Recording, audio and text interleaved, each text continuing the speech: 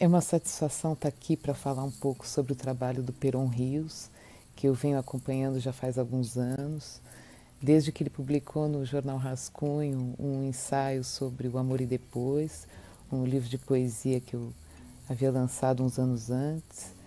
E, e o que me chamou a atenção no texto do Peron foi, foi uma postura ética que transparecia ali de um compromisso de escuta do texto literário, é, que, a meu ver, que, a meu ver, é daí que decorre uma sofisticação muito própria do pensamento do Peron como crítico. E, e foi a partir desse texto, é, no rascunho, que nós começamos a, a, a nos corresponder e a dialogar.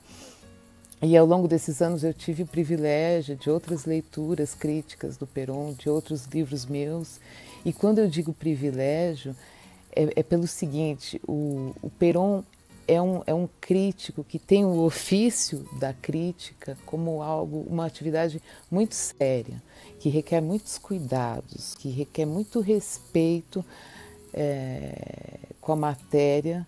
que toca, com a, com a, matéria do texto literário. É, o Peron é um crítico que não subordina, não submete o texto literário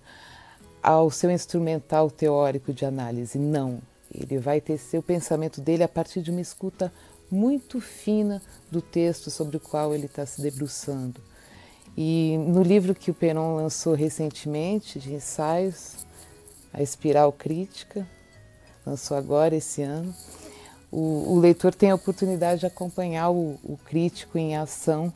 em duas partes do, do volume que, que Perón, em que o Perón reúne é, os seus artigos e os seus ensaios publicados em, em, diversos veículos. E na primeira parte do volume, que, que ele intitula A Crítica no Espelho, nós temos o Perón crítico inserido no campo teórico da crítica, dialogando com suas correntes e métodos e refletindo também criticamente sobre esse ofício no seu contexto contemporâneo. Então, eu quero recomendar vivamente a todos os que pensam o exercício da crítica